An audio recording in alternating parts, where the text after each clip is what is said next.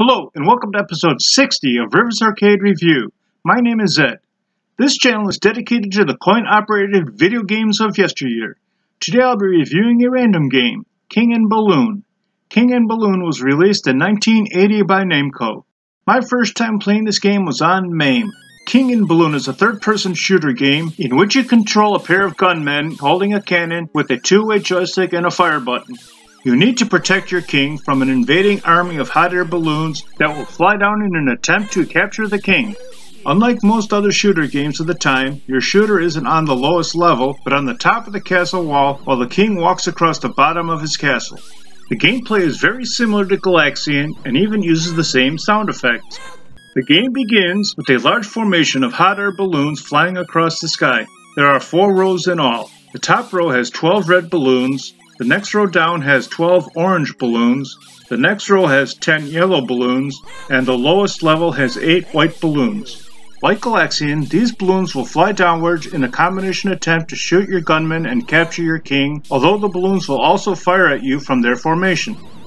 The enemies will fly down and land in the castle and wait for the king to walk toward it.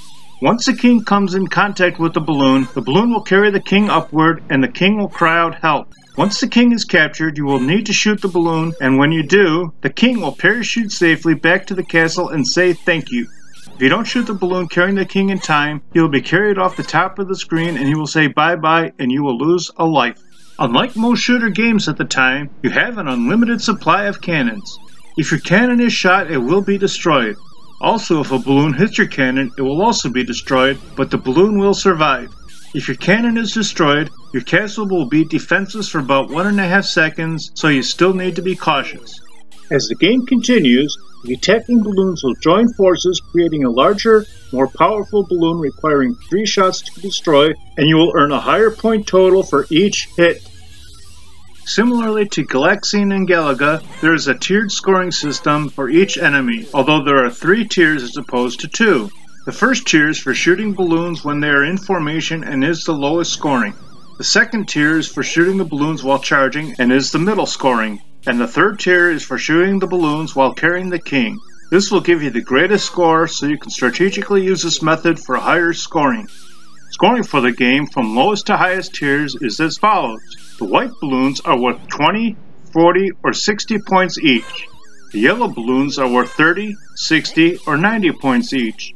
The orange balloons are worth 40, 80, and 120 points each, and the red balloons are worth 50, 100, and 150 points each. The large balloons are scored based on the base color along with the stripe color. You'll earn the lowest score for the first hit, the middle score for the second hit, and the highest score for the third hit. The large white balloons with the red stripe are worth 200, 300, and 500 points. The large yellow balloon with the orange stripe are worth 300, 500, and 700 points. The large orange balloons with the yellow stripe are worth 400, 600, and 1000 points. And the large red balloons with the white stripe are worth 500, 1000, and 1500 points. These large balloons will split back into three enemies when they lands in the castle. If the balloons that are in the castle don't capture the king, after a while they will return to formation and they will not be harmful to your cannon while they are flying upward. I found this game very fun and challenging and highly recommend playing it if you can find it in an arcade or on an emulator. I enjoyed this game a bit more than Galaga 3, but not quite as much as Crush Roller, so King and Balloon soars into the 23rd spot overall. Thanks for watching, I hope you enjoyed it. If you have any games you'd like me to review, please leave a message below or on my homepage.